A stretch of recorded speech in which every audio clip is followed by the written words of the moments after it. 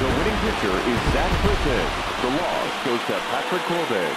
Time of the ball game, 4 hours and 16 minutes. Our paid attendance here tonight at Yankee Stadium, 47,309. The Yankees thank you for attending and remind you to please get home safely.